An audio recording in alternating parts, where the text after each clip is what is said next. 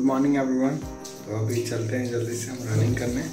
तो इस टाइम हो रहा है साढ़े चार तो अभी जाएँगे रनिंग करेंगे, फिर इसको जाएँगे फिर उसके बाद आके बातें करते हैं।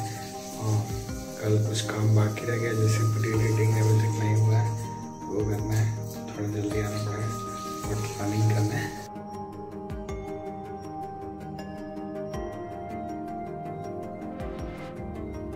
तो आज फिर अभी रनिंग के बाद आए तो वीडियो एडिट किया फिर उसको एक्सपोर्ट कर रहे हैं।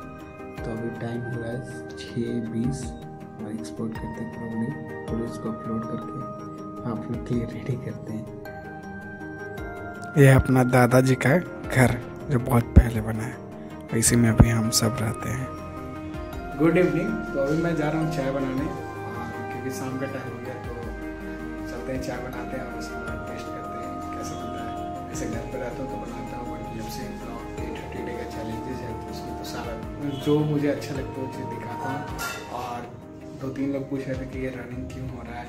कोई प्रोग्राम है या कुछ ऐसा पार्टिसिपेट करो तो सारा कुछ मैं आपको लास्ट में बताऊँगा। तीसवा दिन सारा कुछ आपको पता चला है क्यों ये मैं कर रहा हूँ रनिंग ये सारा कुछ आपको पता चला है। तो अभी फ़िलहाल के लिए मैं चाय बनाता हूँ, वो भी आपको दिखाता हूँ।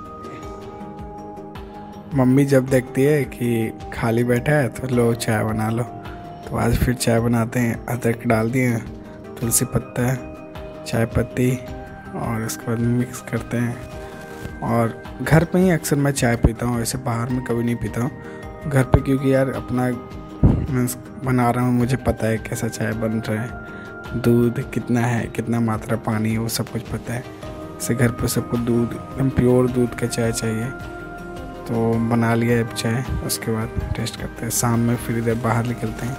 अपना घर ऐसा दिख रहा है। फिर उसके बाद भोलू के पास आ जाते हैं। ये अपना दादी के सब टमाटर वमाटर इधर फेंक रहे हैं। अब मिलते हैं कल के ब्लॉग में।